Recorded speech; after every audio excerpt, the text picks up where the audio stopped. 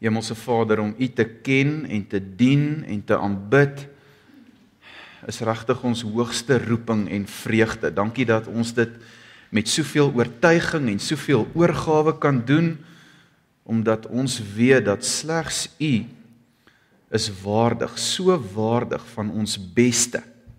Dankie vir 'n opwindende toekoms soos ons 'n pad met U en met mekaar met elkeen in die gemeente stap. Die skrif verklaar dat U beweeg deur die eeue op 'n triomftog en dankie dat ons saam met U dit kan beleef en saam met U op reis kan wees daarmee. Kom breek vir ons ver oggend iets verder oop vir ons as 'n gemeente, Here. Dit is vir my wonderlik om hier te staan, Vader. Ek kan ervaar U teenwoordigheid en U krag en U aanraking, U salwing. Dankie dat U my opgetel het en gedra het om in die moeilikste van omstandighede hier te kon bly staan. Dankie dat U dit doen in moeilike tye en in makliker tye, maar dat dit altyd U is wat dit doen, afgesien van die druk van tye. En wil ek U weer vra, Here, om my op te tel en te dra en hierdie boodskap in krag en in waarheid oor te dra. Dankie dat U hier is. Dankie dat ons soveel het om voor dankbaar te wees, feeste vier dat U die gemeente in die lewe geroep het, geplant het en glo ons met ons hele hart 'n nuwe vars groei opwindende fase en seisoen vir ons het, Here. Selfs in hierdie wintertyd, Here. Ek is lief vir die winter en ek weet ons gaan sommer in die winter al begin groei. Dit gaan nie vir u oor 'n gebou nie, Dit gaan nie oor u vir u oor geld of geboue nie. Dit gaan vir u oor die harte van mense en ons toewyding en ons verhouding teenoor u en teenoor mekaar. Help ons om dit altyd te onthou. In die naam van die koning Jesus Christus vra ons dit. Amen. Amen. Nou ja, julle ons het so 2 weke terug net voor die mannekamp bietjie begin share oor aanbidding, oor worship en ons het gesê worship kom van die woord worship. Hy is waardig. Dis van waar die woord worship vandaan kom. Ons het na Bybelse definisies gekyk. Ons het dit getitel Why We Worship. En vanoggend wil ek so bietjie dit verder vat en daarop uitborduur omdat dit so belangrike en so sentrale tema is. Ons vra baie maal vir mekaar so gemeente is gegeewe waaraan bid jy? En dis reg en dis goed om dit vir mekaar te vra. Ons is by daai lokale gemeente of ons is by daai lokale fellowship aanbidding. Aanbidding is so kritieke begrip en ek hoopelik het ek jou laas geskuif in jou begrip en jou verstaan en jou insig oor wat aanbidding is. Hoopelik het jy gesien dis baie meer as wat jy dink, dis baie dieper, dis baie wyeer, maar ons moet 'n bietjie verder oor aanbidding praat. So die veronderstelling en die idee is nog steeds dat ver oggend se boodskap nou 'n 'n platform en 'n rasionaal, ekskuus vir die Engels, 'n divine incentive vir jou sal gee vir wat ons nou-nou gaan doen, maar ook vir jou hele handel en wandel, vir jou lewe, want ons het gesien aanbidding is baie meer as dit wat ons net op Sondag doen. So ek wil aangaan en uitborduur daarop en vir jou hierdie as te ware divine incentive meegee. Met ander woorde, aanbidding raak elke vlak van ons lewe, nie net as ons dit alleen in ons binnekamer doen soos wat ons moet nie, maar net soveel as ons dit spesiaal hier Sondag saam as 'n gemeente beoefen. Aanbidding is net soos gebed. Dis 'n dis 'n dis 'n dis twee kante. Daar's 'n tyd en 'n plek waar ek my deur toemaak en in my binnekamer soos Jesus geleer het, bid tot my Vader wat ek nie kan sien nie wat verborge is en daar's 'n tyd om saam te bid. Dis al twee. En het ons gesê ons aanbidding Sondag hier is veronderstel om die uitvloeisel en die oorloop te wees van jou binnekamer aanbidding. Al is jou binnekamer dan die kar in die verkeer of buite onder 'n boom of in die stort, maar jy het 'n binnekamer, 'n privaat persoonlike aanbiddingstyd met of sonder musiek En as ons Sondag hier kom en dis vir elkeen van ons so, dan gaan die oomblik as jy wil hier net soveel groter en kragtiger word, want ons kom vanuit die oorvloed van 'n lewenswandel daarin. En ons verwag nie vir iemand op die verhoog om ons op te warm en op te pomp en saam te sleep en te trek tot ons nou hier op 'n rol kom nie. Ons is onmiddellik daar want ons draai net die krane van ons oorvloed van ons lewenswyse oop as ons saam is en dit bymekaar doen en en dis die idee. Maar praat van opwarm. Kom ek warm ons net eers bietjie op en wil jou gedagtes net verfris as jy dalk veral nie hier was nie om een of twee of drie goed net gou te sê oor wat ons laas gesê het en te recap wat het ons oor oor worship gesê. Wel ons het gesien dat dis 'n feit en God het ons so gemaak. As mens, dis een ding wat ons onderskei van diere. Diere verheerlik die Here, die natuur doen ons weet dit, maar diere aanbid nie die mens aanbid. En Prediker sê hy has placed eternity in our hearts en dit beteken dat God het 'n goddelikheid en 'n behoefte om hom te aanbid en te erken in ons harte geplaas. Jy's gebore daarmee. Dis deel van jou geestelike genetika as jy wil. So alle mense aanbid. Alle mense het die behoefte om te aanbid. Jy het gehoor wat sê Reinhard Bonke op daai. Hy sê as hy vir mense preek in Afrika, meeste van hulle het nog nooit die evangelie van Jesus Christus gehoor nie, maar hulle almal is besig om te aanbid. En hulle aanbid afgryslike afgode vir wie hulle tafels moet uitsit en offers moet bring van diere en bloed en vrugte en selfs ander mense. Hy sê maar die Christen God wat hy verkondig, dek vir ons se tafel. Mense soek God en dan kry hulle afgode. Die God wat ons dien het ons eerste kom soek. So alle mense het 'n behoefte aan aanbidding en alle mense aanbid. Die feit is net wat, waar, wie en hoe aanbid jy? En God vereis uncompromised worship to him alone. Anders is dit afgoderry. Jy kan nie meer en lekkerder opwindend raak oor wat die manne op loftes doen as wat jy doen oor die lewende Here wat opgestaan het uit die dood, wat hier teenwoordig is en wat intiem betrokke wil wees en is in my en jou lewe nie. So ek wil dit vir jou skets vanoggend dat jy dat jy opgewonde raak daaroor en dat daai aanbidding kan begin vloei. Al is dit dan meer en meer, so almal aanbid. Tweedens het ons gesien deur die Ou Testament tot in die Nuwe dat God nie beïndruk is met ons leë godsdienstige aanbidding nie.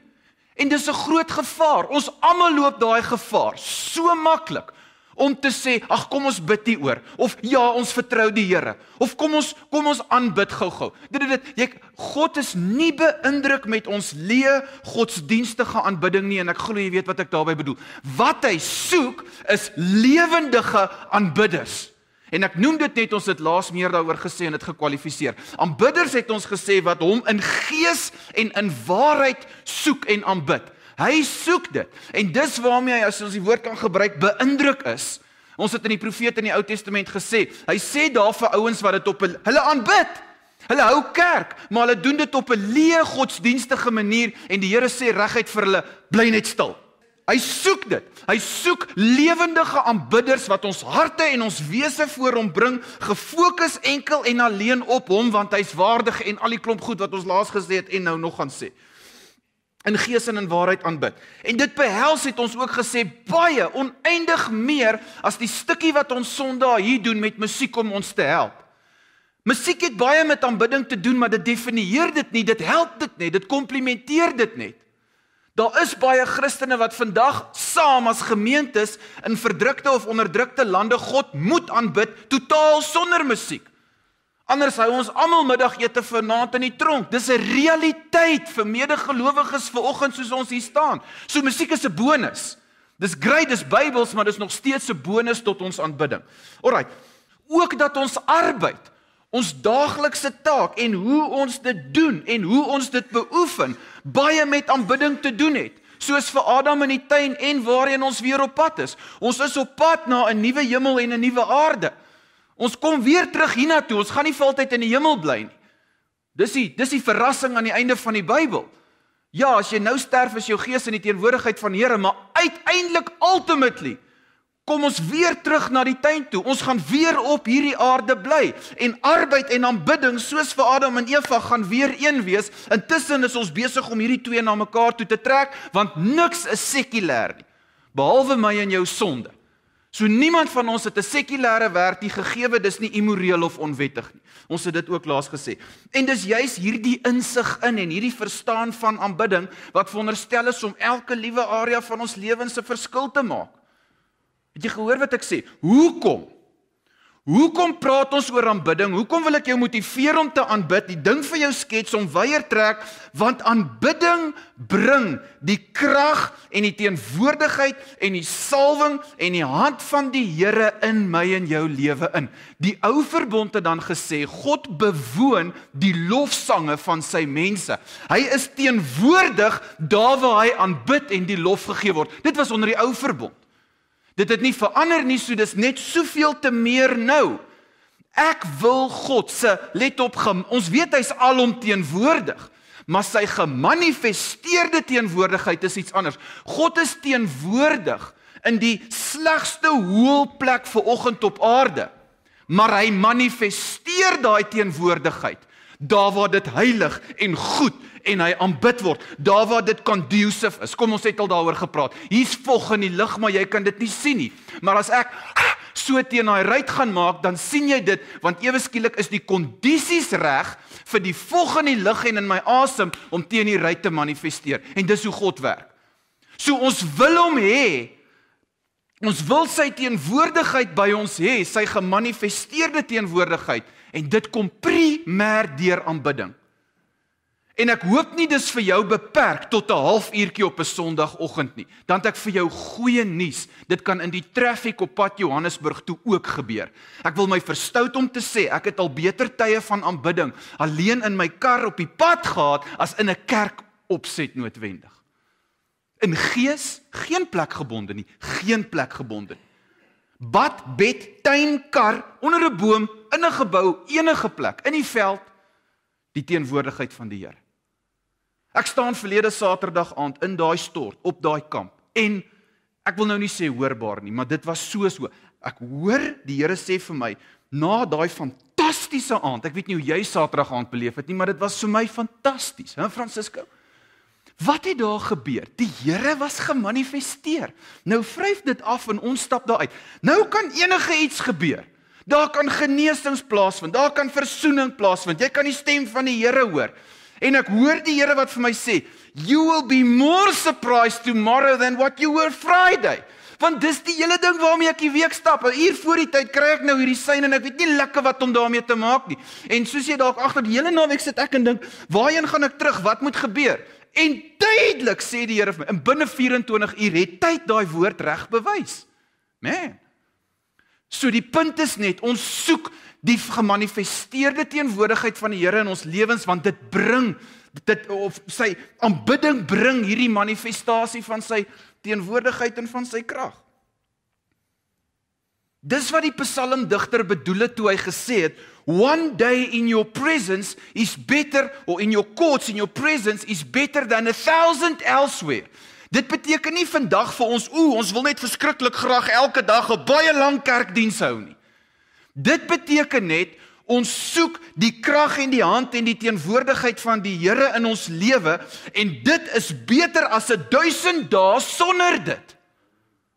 Op enige ander plek. Dit beteken nie heng nou moet ons net lank kerkdienste hou nie. Dit beteken daai kosbare gemanifesteerde teenwoordigheid van die Here enige dag enige plek is beter as 'n 1000 dae van enigiets anders op my eie.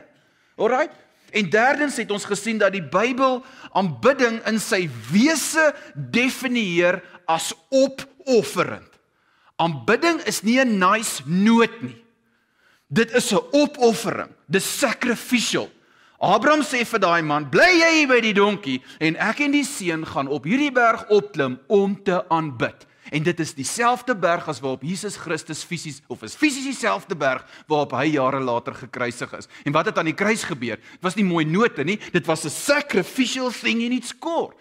So dit gaan dit het nog altyd selfs vir ons Ou Testament helde en dit sal altyd vir disippels van Jesus Christus iets kos om te aanbid want aanbidding is opofferend in sy wese en ons moet dit verstaan. We must take cognizance of it. Ons moet weet dis die hart en die wese van aanbidding. Dis opofferend.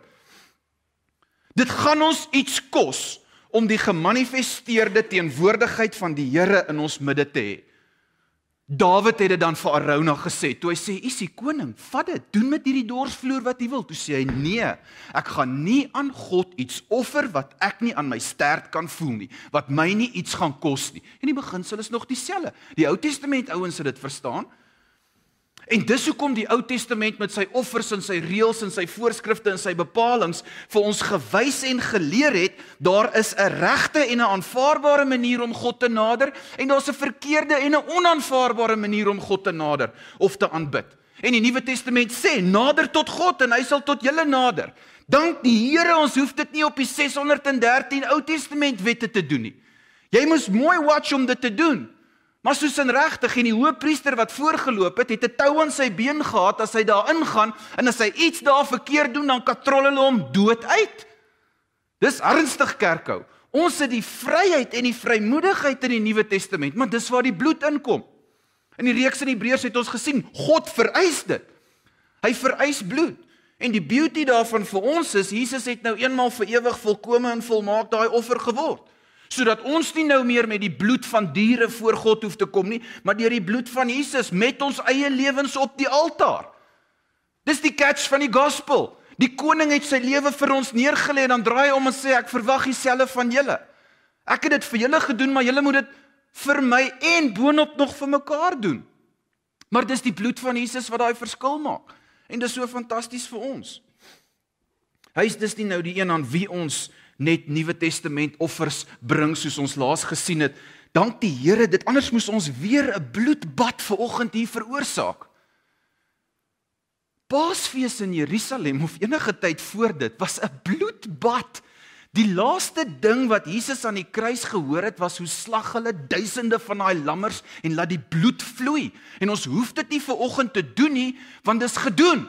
Wat ons moet doen is lof, danksegging en mededeelsaamheid. Dis drie Nuwe Testament offers wat ons nou moet doen. So jy hoef nie met jou skapie onder die arm of jou duif in 'n sakkie in te kom vanoggend nie, maar ons moet hom lof bring, 'n lofoffer sê Hebreërs. Ons moet hom dank bring en ons moet mededeelsaam wees. Dis onder andere die Nuwe Testament offers wat ons moet. Ons moet nog steeds offer. Aanbidding is nog steeds 'n sacrifice.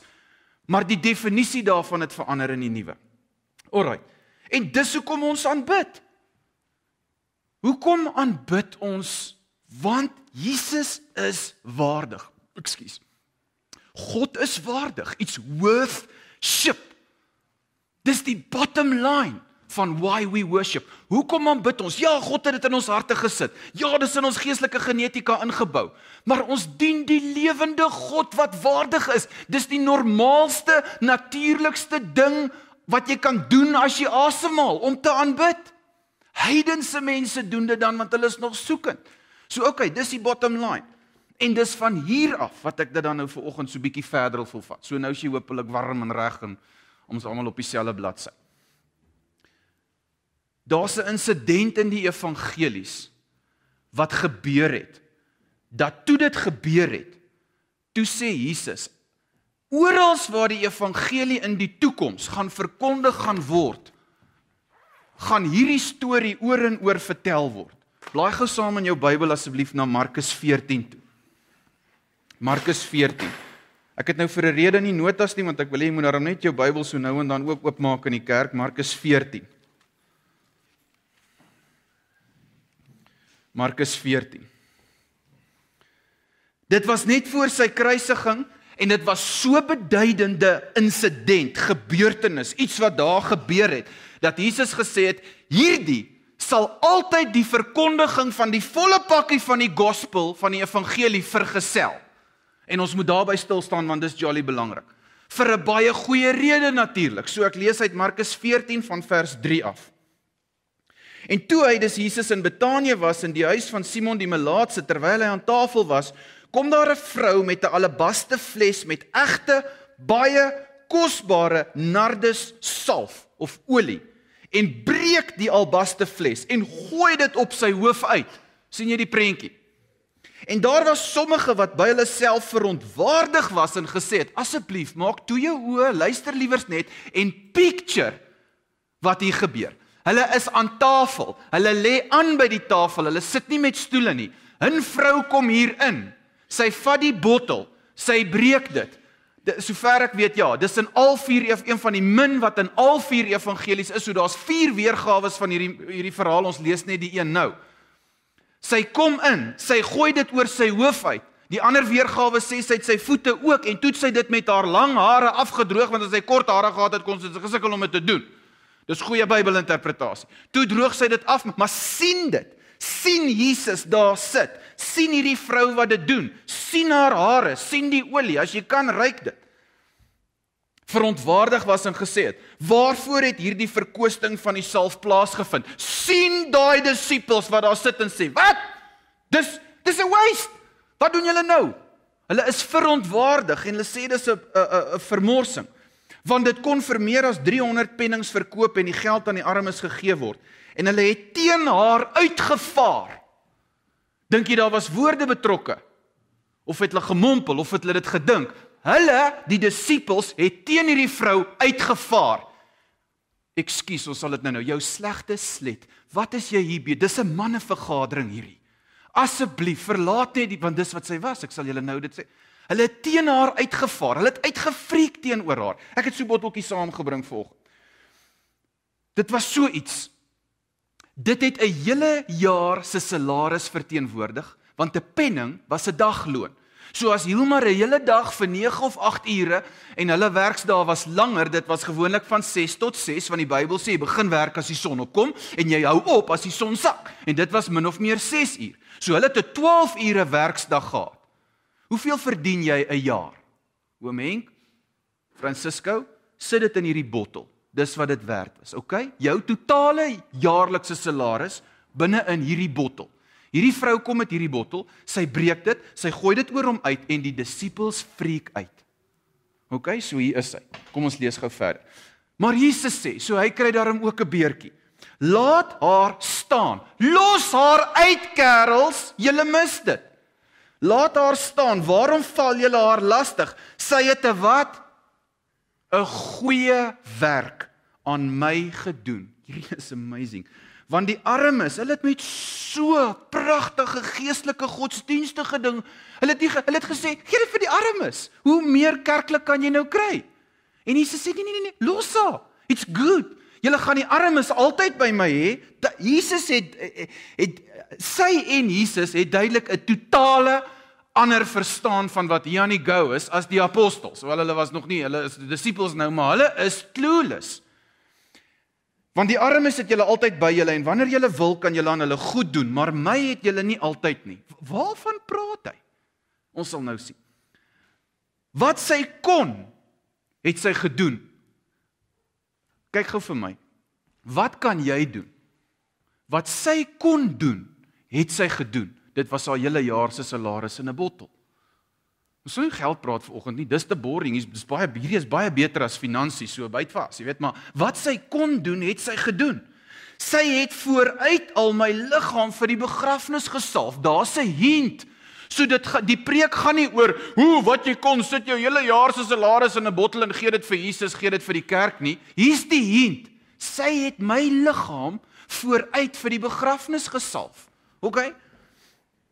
Voorwaar ek sê vir julle, oral waar hierdie evangelie die hele wêreld verkondig word, daar sal ook gespreek word van wat sy gedoen het tot 'n gedagtenis aan haar. Met ander woorde, hier's iets aan hierdie insident wat so kosbaar en so kritiek is dat dit altyd die verkondiging van die volle evangelie moet vergesel.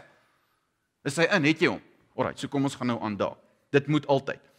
Nou al vier evangelies vertel ons van hierdie vrou Maar dis die Johannes Evangelie wat sê dit was Maria Magdalena.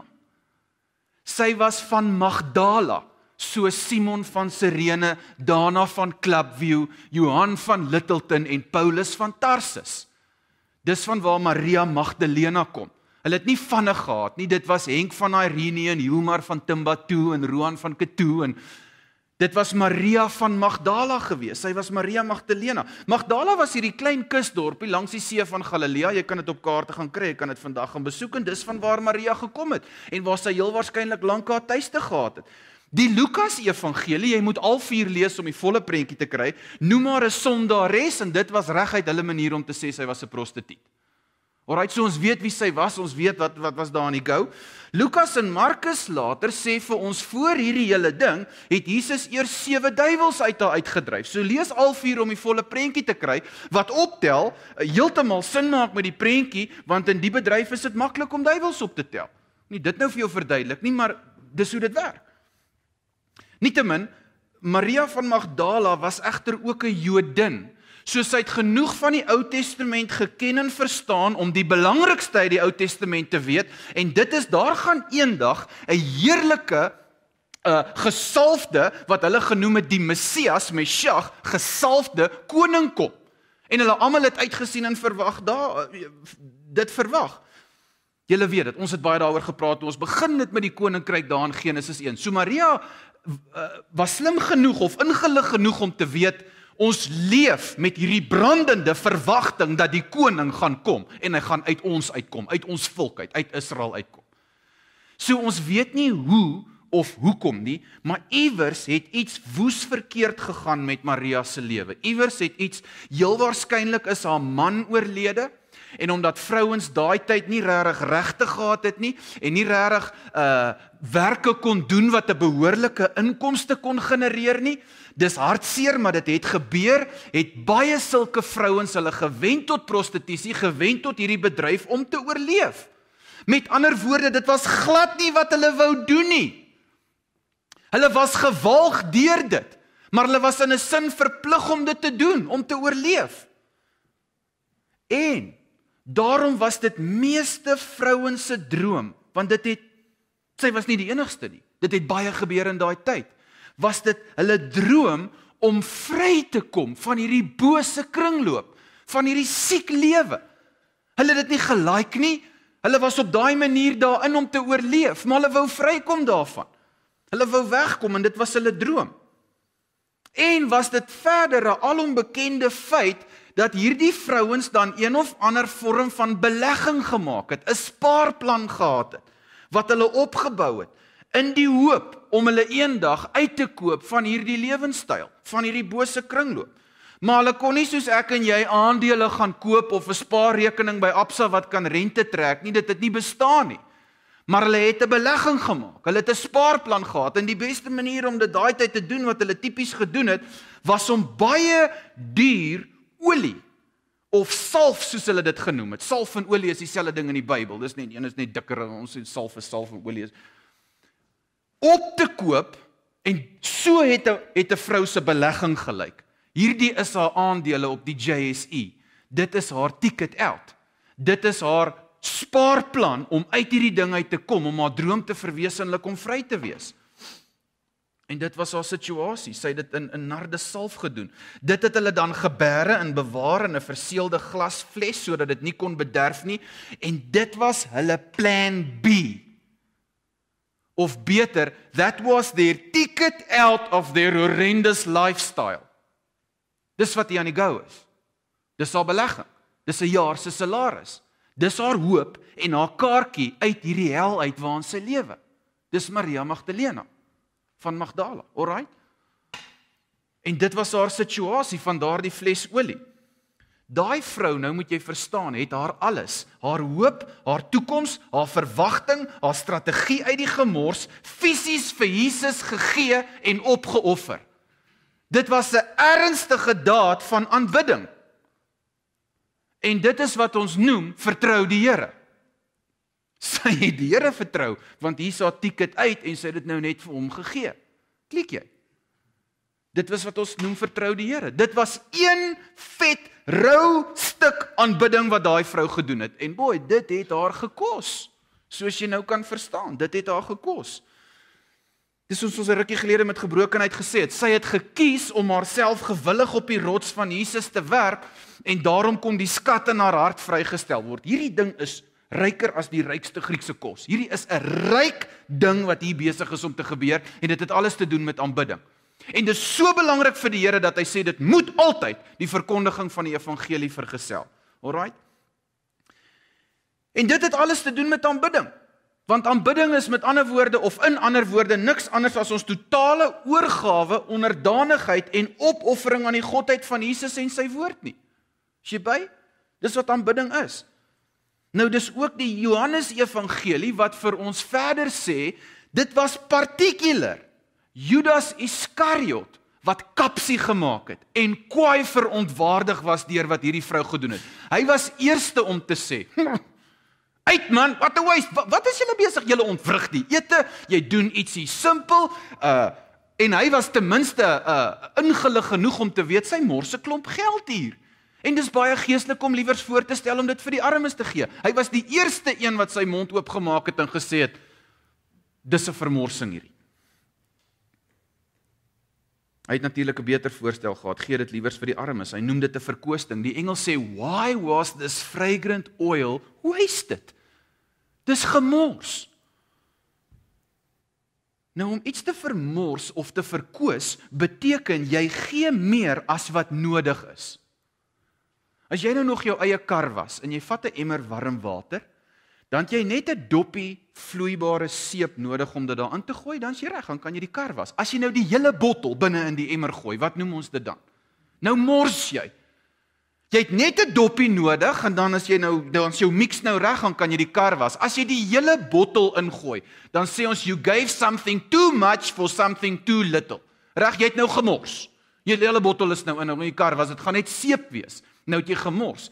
En dis wat hulle daarmee bedoel. Dis nou 'n overkill, okay? Dis over dan, dis 'n vermorsing, dis 'n verkwisting. You giving something too much for something too little. Dis wat hulle bedoel daarmee. Maar daar's twee groepe mense wat Maria se salwing van Jesus as 'n absolute vermorsing sien en boonop vinnig is om dit te sê. Vinnig is om hulle mond uit te spoel daaroor. Ons weet die eerste was Judas. En dis baie interessant as jy fyn gaan lees. Hy het dit natuurlik lankal in sy kop gehad. Sy hart was nooit by die Here nie al was hy een van die 12. Hoekom weet ek dit nooit in die evangelies, maar nooit sê hy vir Jesus Here nie. Nooit nie. Hy het lankal daai ding in sy hart gehad. Ek dink as Maria water gevat het, sou hy seker ook gesê dis 'n waste. Maar die eerste een was Judas gewees. So Judas is tipies en prototipe van die wêreld. Hy verteenwoordig en dit is die geestelikheid ook hier in hierdie ding is ryk. Ek het jou gewaarsku. Hy verteenwoordig die ongelowige wêreld. Dis nou Judas. Hy's tipies en prototipies eh, van Jesus se siening van 'n onge of die ongelowige wêreld, wêreldse mense se siening van Jesus. In die oë van die wêreld is dit 'n absolute vermorsing om die Here te dien. En ons het almal al daai boodskap en die beledigings wat daarmee saamgaan en die beskuldigings van wêreldse mense gekry.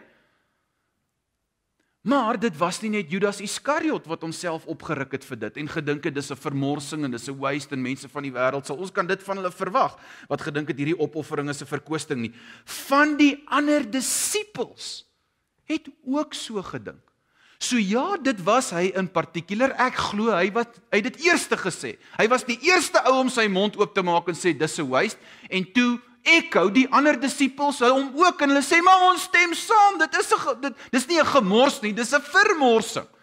Wel hulle het seker gedink dis 'n gemors ook maar hulle het gesê dis 'n vermorsing. Judas het dit eerste gesê en die ander disippels het hom beamoen en nou praat ons van medegelowiges. Die disippels daar verteenwoordig die boetas en die sissas in die kerk So ons kan dit verwag van 'n ongelowige wêreld wat clueless is wat sê om dit te doen vir Jesus is 'n absolute verkwisting. Ons het 'n baie beter plan vir die geld. Maar ons verwag dit nie van ons boetas en sissas om dieselfde te sê nie. Tog gebeur albei toe en vandag. Dis nie net die wêreld wat dink we giving something too much for something too little nie. Dis die kerk wat ook so dink. En ek en jy was al daar, hopelik. Dis ook ons eie boetas en sissas wat ons aanbidding en opoffering baie maal sal kritiseer. Met die was dit nou nodig? Dis so bietjie overdone, dis so bietjie 'n 'n oorkiel wat ek dink dis oordoen. En dan was jou hart om vir die Here jou alles en jou beste te gee. Dit kom lankal uit die Ou Testament. Die triek wat ons het om altyd vir die Here iets afskeep te gee, kom al since time began. Dis waarteen Maleagi uitgevaar het. Hulle weet hulle moet vir die Here iets gee uit hulle vee uit. Dan keer hulle al die hartswater, lamsiek, blinde, stom, krippel, lamdiere af en sê daar is dan nou die Here se offering. En Maleagi sê, "Jesus, julle gee dit vir God. Nou keer julle die blinde diere af. Hè, wat? Julle is clueless." En hier sit nou weer. Hier kom hierdie vrou. Judas Iskariot was nog nooit behoorlik op die bus nie. Hy kom net saam. Hy het die beste CV van almal. OK, dit kan ons verstaan. Maar nou die ander disippels dink ook dis 'n waste. Die kerk dink dis ook so. Ek onthou toe ek 'n student was, het ek het ek in daai tyd gaan sit by 'n oom wat op daai stadium in die bediening was en ek was opgewonde oor hoe ek ervaar het die Here my roep en vir wat ek moet doen en ek ek ek wil gewillig en gehoorsaam daaraan. In sy woorde was letterlik: "Dis jammer dat so iets met so 'n jong man soos jou moet gebeur." Ek het van my stoel afgeval. Soos in hy wou my afsit en afskrik. En hy was 'n dominee. En ek vertel vir hom hoe op, "Jesus, waaraan is ek besig om myself te bevind?" Op 'n ander stadium werk ek deeltyds as student vir 'n sakeman en hy kom te hore van my planne om teologie te gaan swaat en vir die bediening opgelei te word en ek onthou so goed sy woorde aan my was dis jammer want jy sou 'n goeie sukses in die sakewêreld kom doen. En ek was net 'n kandidaat eiendomsagent. Ek het nie movies se goed gedoen nie, maar hy het seker potensiaal in my gesien en hy was vinnig om uit te spreek en te sê: "Dis regtig jammer dat jy dit op die kerk en die hoof daarvan jou talente moet gaan mors." Het jy al sulke opmerkings of sulke beskuldigings of sulke beledigings gekry? Nou gaan jy weer kerk toe en jy jy bedoel jy gee geld vir dit. Jessie, en tyd en opoffering en jy gaan bedien mense wat nie iets vir jou kan teruggee nie. What a waste. As die wêreld dit sê is dit oukei, okay, maar jou boetas en sissas sal ook so dink. Dis wat hier aan die gang is. Maar Jesus se opinie en enigste reaksie op wat hierdie vrou doen, is sy sê los haar uit want sy doen goed en sy doen reg en Jesus kan dit net sê omdat hy weet hy is waardig. He knows he's worthy. Dis hoekom hy sê julle verstaan nie, los haar uit. Julle verstaan glad nie, los haar uit want ek is waardig. Onthou sy's besig om te aanbid hier. Worship. Jesus is die epitome van nederigheid. Ek bedoel hy's God. Daar sit hy in die vlees. Hy het sy godheid in die hemel agtergelos, maar hy's nog sy heerlikheid, maar hy's nog steeds God incarnated. Maar hy's nederig genoeg om te sê los haar want ek's waardig om dit te doen. Hulle nie een van hulle dink so nie. Nie Judas nie, nie Petrus nie, nie een van hulle nie. Dis net daai vrou wat dit geklik het. Hier's 'n preek vir julle vrouens wat altyd dink dis 'n down dit dit. Uh, Maria Magdalena is amazing en sy was 'n hoer. Ekskuus, maar dis die Afrikaanse ou vertaling. En die Here het haar lewe fantasties omgedraai en sy kom uit die gat uit. She had nothing and nobody. Sy was 'n outcast. Hierdie manne het haar verag toe sy by die deur inkom toe weet hulle al wie's dit. Dit was nie 'n hulle het geweet wie was sy. They knew her. Ek per so ver gaan dalk was een van hulle al by haar. They knew her. So hy's waardig vir ons om so volkome hom te aanbid terwyl ander dink dis 'n verkwisting. Maar hoekom? Hoekom sê Jesus juis oor hierdie gebeurtenis dat dit altyd gekoppel sal word met die verkondiging van die evangelie want Maria is nou weer 'n tipe en 'n voorbeeld van die kerk en die Here wil deur haar gesindheid hier en wat hier gebeur het en wat sy hier gedoen het terwyl die ander manne clueless wat was met respek vir ons 'n baie belangrike punt of beginsel of begrip hier vas lê en illustreer. Dis hoekom. Bly by. Hoekom? Hoekom hierdie ding altyd saam met die evangelie? Die Here wil iets daardeur illustreer. En dit is dat Jesus verwag dat as mense na hom toe kom, hulle self totaal en volledig op hom sal uitgiet sonder voorbehoud. Ek wens ons kon ver oggend daai liedjie sing. Is dit Gesang 190? Neem my lewe, laat dit Heer u gewy wees meer en meer. En dan werk jy so deur wat 5 verse tot jy sing neem my goud en silwer Heer, niks noem ek my eie meer. Het jy dit gesing? Het jy dit bedoel? Kan ons dit vanoggend sing? Dis hoekom wat hy sê, wanneer jy na my toe kom, is ek waardig om dit te doen om jouself totaal volkome weg te gee. Hy het dit op ander plekke ook gelê, geleer. Lê jou lewe neer. Gee dit op, gee dit weg. En dis my lewe, Here, dis kosbaar. Ek het as ek gelukkig is 80 jaar om hierdie storie uit te leef. Weet jy hoe lank is die ewigheid? Dis die offense en die kontradiksie van die evangelie. Hou aan jou 80 jaartjies vas as jy gelukkig is, dan kan jy jou lewe verloor. Gee dit nou op, dan wen jy jou lewe in ewigheid. Jy kan kies. Maar hy's waardig. En hy's nie bang om of of of skaam om so te sê nie. En dis wat ons hier moet leer. Jesus is waardig om ons alles, ons beste, onsself vir hom te gee en jy sal jolly bly wees, nie nou nie, maar eendag. Because we are an, soos die slim ouens sê, eschatological people. We don't live for today. We don't live for now. Ons leef vir eendag. Ons beloning is eendag, nie nou nie. Enige iets wat jy nou uit as ek dit kan sê, die evangelie kry is 'n bonus. Dis nie jou beloning nie. Kan ek dit weer sê? Maak dit vas. Enige iets wat jy nou uit die Here kry of uit die feit dat jy hom dien of uit die evangelie kry, is 'n bonus. Dis 'n kompliment, dis 'n ekstra. Dis nie jou beloning nie. Dis eers eendag. So moenie nou dink, "O, oh, jy weet die die die die gospel doen nie genoeg vir my nie. Ek het nog gedog ons moet net altyd gesond en altyd gebless en altyd ryk wees. Wat's fout hier?" Dis 'n bonus as ons iets kry. Ons beloning is eers eendag. Dis die waarheid. Dis hoekom dwarsteer die Bybel terug na daai punt die Here die verbond tussen 'n man en 'n vrou in 'n huwelik gebruik as sy prentjie van ons met hom want dis 'n totale oorgawe. Jy stem tog daarmee saam, dis 'n volkomme kommitment.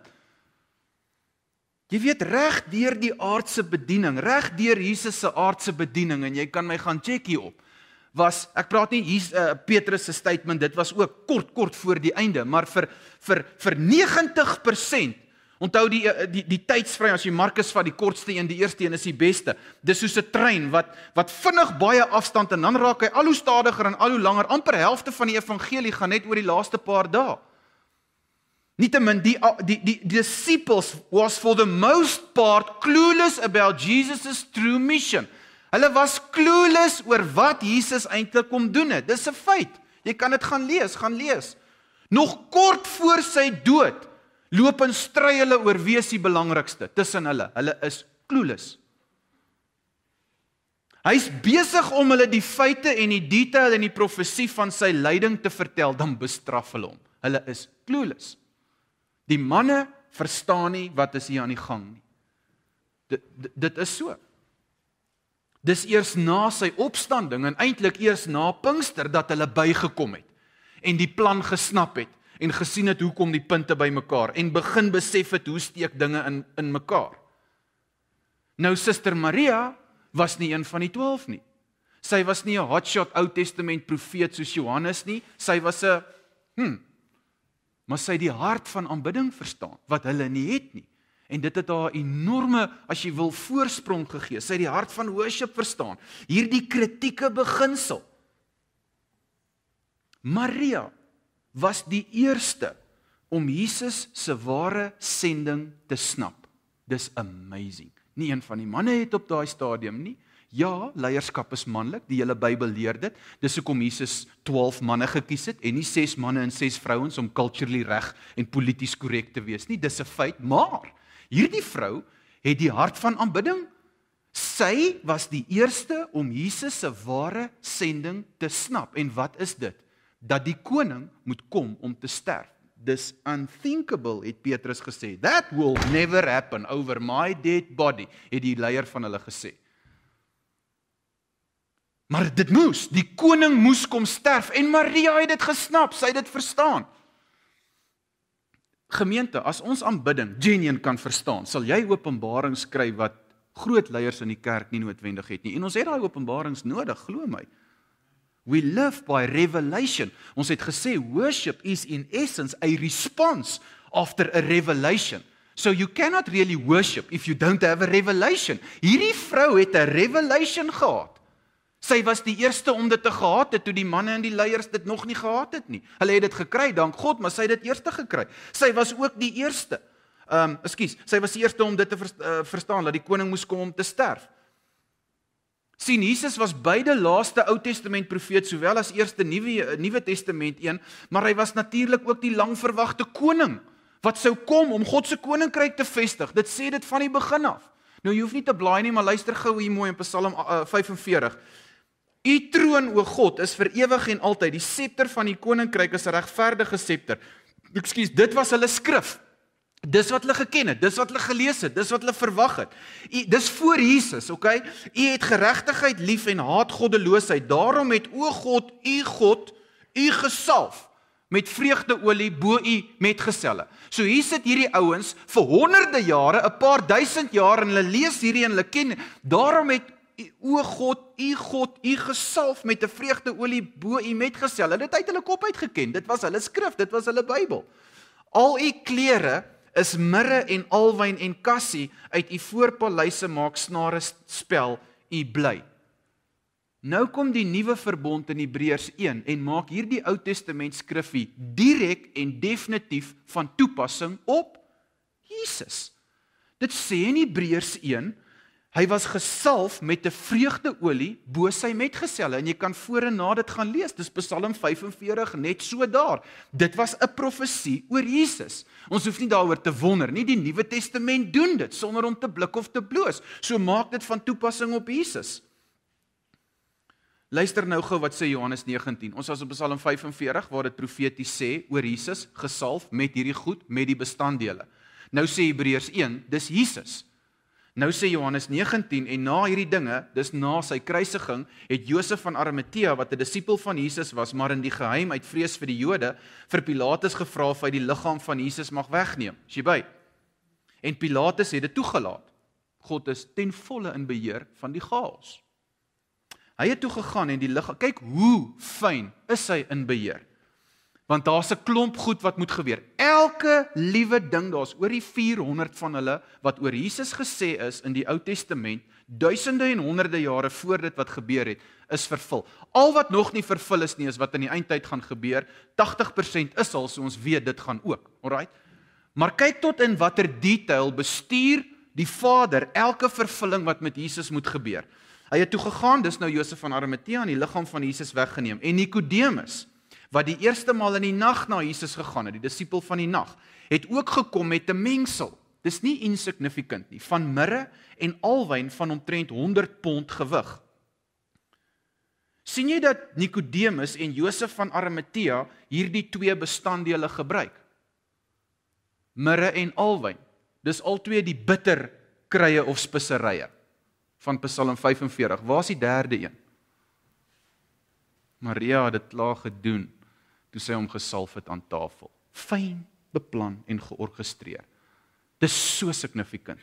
Die koning moes met 3 'n 'n 'n 'n 'n mengsel van 3 goed gesalf gewees het. Daar was ander ook by, maar dit was die basisbestanddele, soos eiers en meel en suiker. Jy kan nie kook sonder dit. Josef van Arimatea kom met die twee bitter saam met Nikodemus. Waar is die derde een? Wat alles laat lekker ryk. Maria het dit voor die tyd gedoen.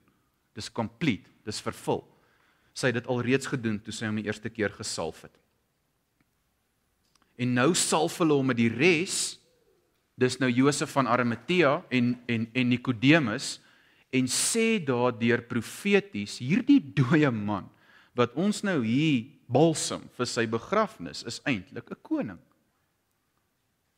Het hulle geweet hy's die koning van die konings? Ons weet nie. Maar dit wat hulle gedoen het was heavy beduidend en profeties. Maria het nie kassie gehad nie. Dis van waar ons dogtertjie se naam vandaan kom want dit beteken om lekker te ryk vir Jesus. Sy het iets duurder en kosbaarder gehad, nardus. Dis omtrent top of the list. Dis hoekom dit hulle dit gebruik het vir hulle beleggingkie of vir hulle belegging want jy het baie min nodig gehad om baie te verteenwoordig. Sy het nardus gehad. En dis die bestanddeel wat alles laat lekker ryk. En sy het dit wat sy gehad het, haar beste ge, ge, gevat en gegee vir Jesus. In Hooglied sê dit die liggaam, as jy dit nou wil allegories, die die die bruid, die kerk is gesalf met nardusolie. So in die besluit en die handeling wanneer ons Jesus as koning kroon, dis in die besluit en dis in en as die handeling waarmee ons hom as koning kroon, soos hy het. Hoe is die beauty? Dat hy ons terugsalf met dit waarmee hy gesalf is. Dis 'n dis 'n hy's die gesalfde een, die wortel van die woord in Hebreëus beteken om in te vryf. So God het iets dit verteenwoordig sy alles. En as hy jou met dit salf, dan vryf hy jou in, so dit gaan van hom na maar hy verwag ook dieselfde dat ons hom salf met die beste wat ons het en dan gee hy dit terug. Dan dan return hy as te ware daai salwing waarmee hy as koning gesalf het. En dis baie meer, maar dis ten minste die aangename geur van die lewe. So dis hoekom dit so amazing is wanneer ons sê ons dien die lewende God. Dooie goed ruik nie lekker nie, nê? Nee. Of dit 'n dooie blom of 'n dooie dier is, enigiets wat doodgaan, stink. Maar Jesus lewe en hy is die lewe en die lewe ruik altyd lekker. Enige iets wat lewe, selfs 'n baba hondjie, ruik lekker. Alraight. En hy salf ons terug met daai lewe. Romeine 5:17 sê, dis hoekom kyk die uitruil. Want as ten gevolge van die misdaad van die een die dood geheers het deur die een, veel meer sal hulle wat die oorvloed van die genade en van die gawe van geregtigheid ontvang in die lewe heers deur een Jesus Christus. En Maria van uh, Maria Magdalena het dit alles verstaan. Dis geen wonder dat sy ook die eerste een is aan wie Jesus hom openbaar na sy opstanding. Ons baie goeie geestelike rede, tell it to a woman, she will tell everybody dit is so. Dis nie daaroor nie. Dit was 'n grappie op Bybelskool, maar dis omdat sy dit verstaan het glo ek dat hy die eerste een was wat aan haar verskyn het. Hy ek het opgestaan. Hy sê dit eerste vir 'n vrou met 'n verlede soos daai. Want sy het dit alles verstaan. Sy het aanbidding verstaan. Iemand wat alreeds voor hy uit die dood opgestaan en verheerlik was. Verstaan hy dat ons self, ons onsself volkome aan hom moet gee in en as aanbidding. En dis al wat ek ver oggend wil deel, so ver want dit is so belangrike begrip. Dis die een ding wat altyd die verkondiging van die evangelie moet vergesel. Dit het gegaan oor 'n vrou soos hierdie wat aanbidding verstaan het, wat eerste was om te snap die koning moet kom om te sterf en wat profeties hom met daai een element wat alles wat lekker uh, wat alles laat lekker ryk gesalf het. En dis alwaaroor ons moet praat. So vra jouself asseblief vir oggend soos jy daar sit, soos ons inkom vir 'n landing. Vra nog beter die Heilige Gees, is u tevrede met my aanbidding? En dis nie net nou-nou nie. Dis hoe jy môre daar instap in jou kantoor, Mike, waar jy jou ding doen. Selfs selfs met wat jy moet doen. Dis arbeid en aanbidding moet al hoe nader aan mekaar. Here, is U tevrede daarmee? Is dit vir U welriekend? Behaag dit U? Glimlag U daarop? Dra dit U plesier en goedkeuring weg? Daar sal altyd mense wees wat dit kritiseer. Heng, ek het daarmee vrede gemaak. Maak jy ook? Daar sal altyd iemand wees wat sy mond uitspoel oor jou aanbidding. Wat dit is of hoe dit wil lyk, altyd. Jessie, ek het almal kritiek getrek hoor. Jy sal dink dit is nie so nie, maar ek het vrede gemaak daarmee, want al wat ek wil doen en ek wil dit van jou ook vra, is om met alles wat ek het en alles wie ek is, hom te aanbid. Amen. Amen. Amen.